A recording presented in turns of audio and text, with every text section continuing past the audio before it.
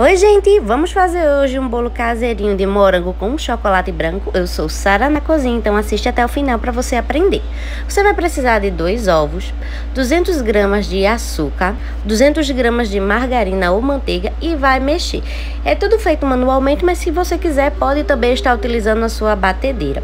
Em seguida, a gente vou acrescentar aqui agora 250 gramas de farinha de trigo sem fermento, tá bom?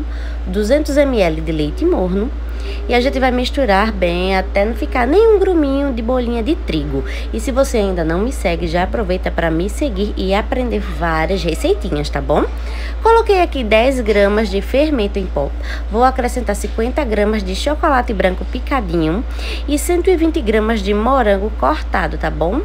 Aí você vai misturar e vai colocar em duas forminhas. As forminhas que eu vou utilizar é uma forminha de 15 centímetros com fundo de papel manteiga e uma forminha de 16 centímetros com furo no meio e vou levar ao forno por cerca de 40 minutinhos ou até furar com palito e sair limpo. E vou cobrir com essa cobertura rápida que se você quer aprender, deixa aí nos comentários cobertura para poder eu liberar a receitinha para vocês. E agora eu vou partir e mostrar para vocês como ficou por dentro. Faz aí na tua casa, me conta, me marca no Instagram, no YouTube. Se você gostou, compartilha com um amigo para também fazer para você. O vídeo de hoje foi esse. Até o próximo vídeo e tchau, tchau!